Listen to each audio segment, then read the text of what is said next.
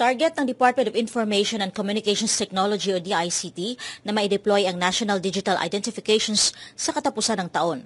Ito'y kasunod ng tagubili ni Pangulong Ferdinand Marcos Jr. na mabilis na subaybayan ang pagpapalabas ng National ID pagkatapos ng ilang pagkaantala.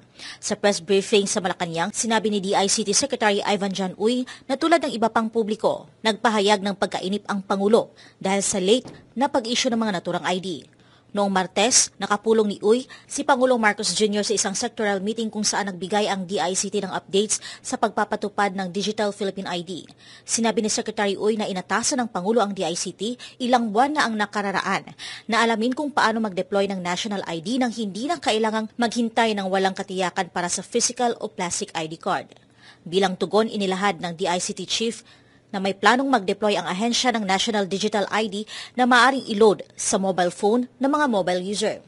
Binigyang diin naman ng kalihim na kailangang pagsikapan ng DICT na matiyak na ang datos ng PSA ay hindi corrupted o hindi kulang nang sa gayon ay mabilis ang pag-deploy ng mga digital ID. Idinagdag pa ni Uy na kung masecure nilang isang matatag na DICT PSA link-up system na may seamless data migration ayon sa kalihim ay maaring ma-deploy ang mga ID sa lalong madaling panahon.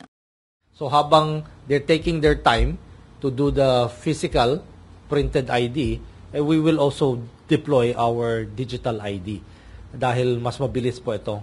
Ang objective po namin, sana may magandang Christmas gift ang ating mga kababayan that by end of the year, eh, ma-deploy natin significantly yung digital ID.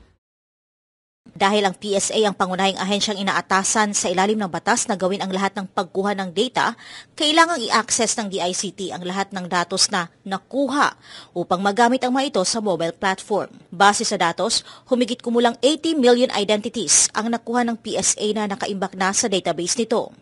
Samantala, ipinunto rin ni Secretary Uy ang pangangailangan ng karagdagang pondo para matustusan ang pagsisikap ng DICT na matunton ang scammers at cybercriminals.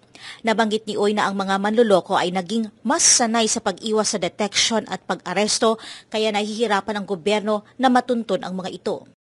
We need all the resources possible and all the tools possible in order to go after them. So the confidential fund is essential in order to conduct um, intel and investigation um, in order to go after these criminals. Ang na-explain ko kanina, na itong mga cyber criminals po are very well funded, very well organized, and very highly technical. So we need, dapat tapatan po natin ito ng kaukulang kakayahan sa gobyerno na makahabol sa kanila. At nakatali po ang ating mga kamay kung wala po tayong proper um, um, tools in order to go after them. Binanggit naman ni DICT Secretary Uy na malaking tulong ang digital ID para sa digital government services, particular ang eGov PH Super App na isang one-stop shop platform para sa iba't ibang government services. Para sa Diyos at sa Pilipinas kong mahal, Kreslin Katarong, SMNI News.